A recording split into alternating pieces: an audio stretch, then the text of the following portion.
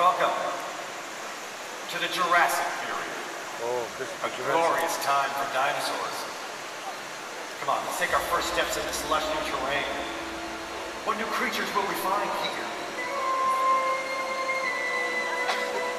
Look, a footprint! I love these because, believe it or not, something as delicate as a footprint can remain fossilized in rock for millions of years. Why is a footprint so important to a paleontologist like me?